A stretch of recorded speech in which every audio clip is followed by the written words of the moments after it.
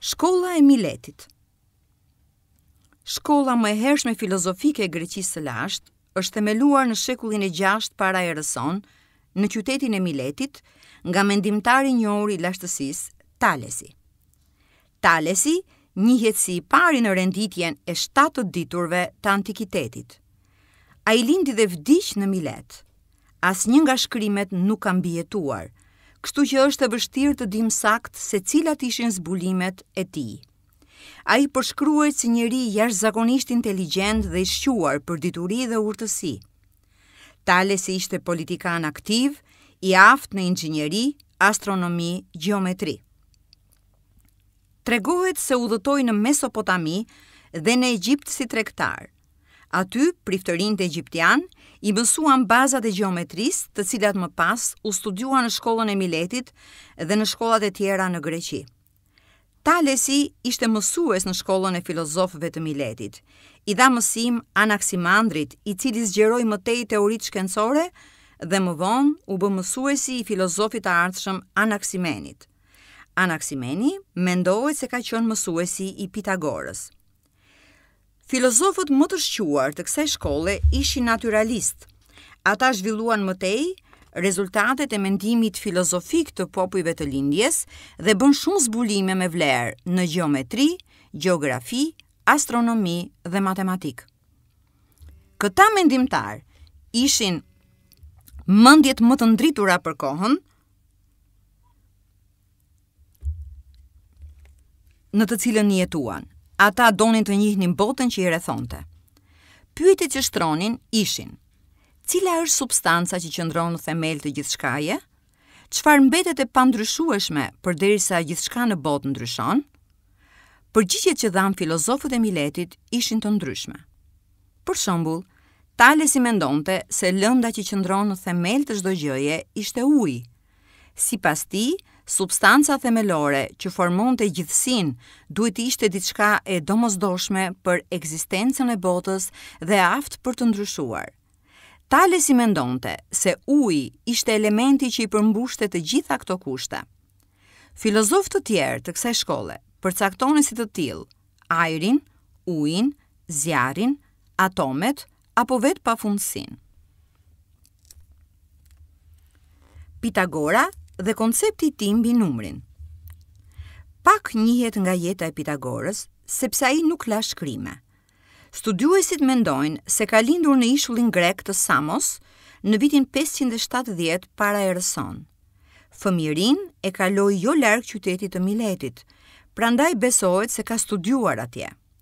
Sikurse Talesi, ai kishte formim matematikor, mbi bazat e së cilës formoi filozofinë e tij. Pitagora u bë shumë i njohur me teoremën e tij që njihet si teorema e Pitagorës. Ajo shprehet me barazimin a në katror plus b në katror është e barabartë me c në katror.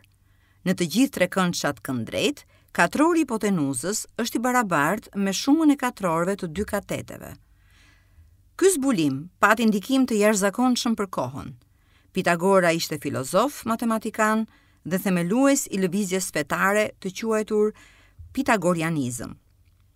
Ai ishte shumë fetar, supersticioz dhe besonte në ciklin e rimishërimit të shpirtrave. Filozofia e tij predikonte respektimin e një vargu rregullash të rrepta të sjelljes dhe dijen shkencore praktike, si rrugë për të arritur çlirimin e shpirtit. Sipas filozofisë së Pitagorës, nëse ne kuptojmë se gjithçka në gjithësi është në përputhje me numrat, rregullat dhe përpjesëtimet matematikore, do të arrijmë të kuptojmë strukturën e kozmosit.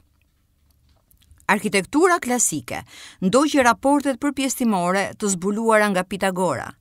Për të, matematika ishte modeli kyç për të studiuar gjithçka, madje dhe mendimin filozofik.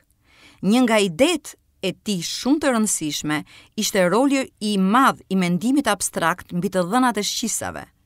Pitagora bëri hapin e parë për të pajtuar racionalen dhe fetaren, përpjekje që më pas do të vazhdonte gjatë gjithë historisë së filozofisë.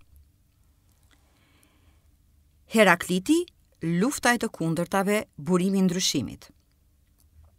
Herakliti lindi në vitin 535 para erës sonë në Efes, në brigjet e Azisë së Vogël, jo shumë larg nga Mileti.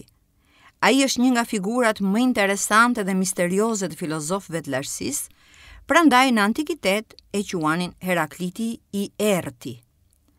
Kjo për shkak të aforizmave të shkurtra dhe enigmatike që përdorte ai për t'u shprehur. Në ndryshim nga filozofët e tjerë të Miletit, si Talesi, Anaksimeni e të tjerë, të cilët e shikonin çdo gjë me thelb të pandryshushëm, Herakliti mendonte se gjithçka në botë ndryshon, rrjedh. Njihet shprehja e tij, nuk mund të lahesh dy herë në ujin e të njëjtit lum. Përtej këtij ndryshimi të pandalshëm, për të ekzistonte parimi i rregullsisë dhe ekuilibrit që mundëson vazhdimësinë e botës. Nga ana tjetër, ai mendonte se çdo gjë që ekziston është kombinim dhe përplasje e të kundërtave. Lufta midis të kundërtave çon në ndryshim të vazhdueshëm. Ato zëvendësojnë njëra tjetrën. Dita i zë vendin natës, jeta shkëmbehet me vdekjen, e nxehta me të ftohtën dhe kështu me radhë pafundësisht. Kjo ide është nga parimet kryesore të dialektikës. Parimi universal kozmik që qëndron në themel të gjithçkaje dhe ruan unitetin e gjithësisë është logosi që në greqisht do të thotë arsye, logjikë. Për Heraklitin, Ky parim ekziston përtej reales dhe natyrës. Ai mban në kontroll të kundërtat dhe tensionin që krijohet mes tyre, që asnjëra prej tyre të mos fitojë. Logosi hyjnor mund të arrijë të njihet vetëm nga njerëzit e mënçur apo filozofët e vërtetë. Sipas imagjinatës së tij, Herakliti Logosin e shihte te zjarri, që ka qenë elementi i parë ekzistues dhe më pas me vullnetin hyjnor u shndërrua në tokë dhe në ujë. Ai e shihte zjarrin si një forcë aktive, e gjallë që qëndron në bazë të krijimit të gjithçkaje dhe që përcakton çdo ndryshim në univers. Demokriti dhe shkolla atomiste. Gjatë shekullit të pestë para erës sonë, dy filozofë, Demokriti dhe Leukipi nga Abdera dhe Traka, dolën me idenë se çdo gjë në botë formohet nga grimca të vogla, të pandashme që quhen atome. Demokriti hodhi hipotezën se çdo gjë përbëhet nga këto grimca.